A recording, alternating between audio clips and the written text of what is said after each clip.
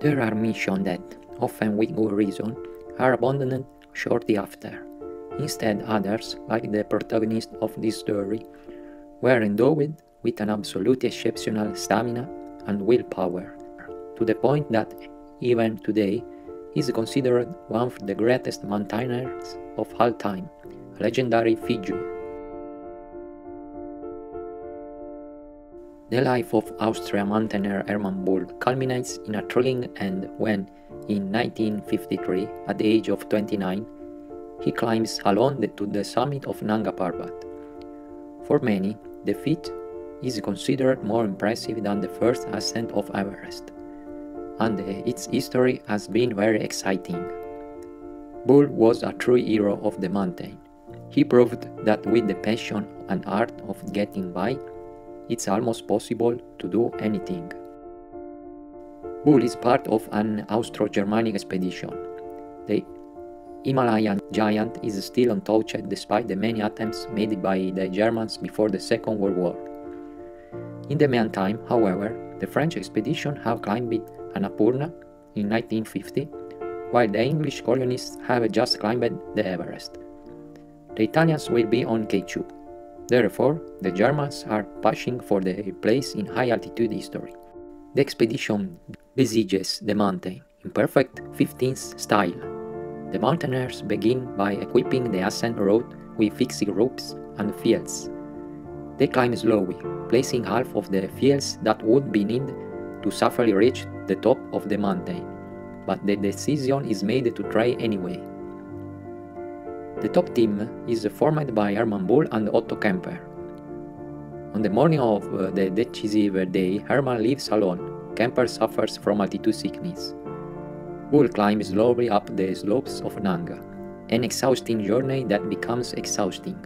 But he does the summit, making the first absolute ascent, without oxygen and alone, starting from the last field, the only case among the absolute firsts of an 8-2 over the course of 40 hours, Buhl alone traveled a route not only of a great height, but also of a considerable length development.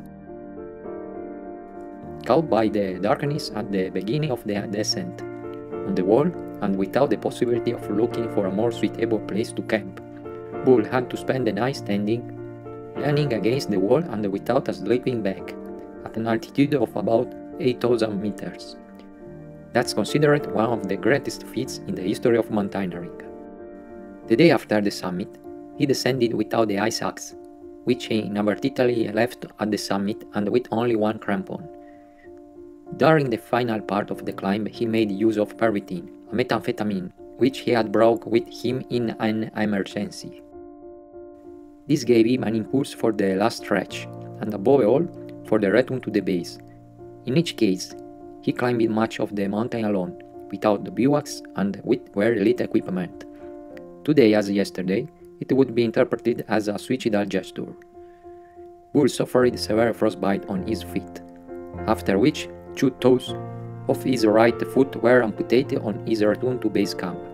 Buhl's road on Rakhiot or Est Ridge was only repeated once in 1971. The following year, he returned in Pakistan this time towards the Karakorum, where with others he succeeded in the first ever ascent of Broad Peak. Buhl died a few days later while trying to make the first ascent of Chogolisa, a mountain of over 7,000 meters, not too much difficult, in front of the Concordia Plateau, together with uh, Diemberger. The two, after having given up the summit due to wind and fog, went back towards Concordia. They proceeded untied in the middle of a thick fog along a ridge. One stepped on the faint frame of snow and they fell into a ravine. Buhl died at the age of 33. Despite the research, his body has never been found. The Tyrolean Hermann Buhl made the almost impossible, said Reinhold Messner. It was an unparalleled undertaking. We will remember he with this famous phrase which perhaps contains the meaning of life. Mountaineering is an exhausting activity. One climbs higher and higher and never reaches the destination. Perhaps this is the most fascinating aspect. We constantly looking for something that will never be achieved.